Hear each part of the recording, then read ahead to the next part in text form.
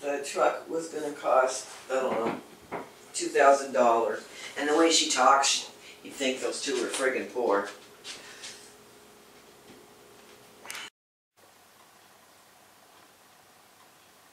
Finished product.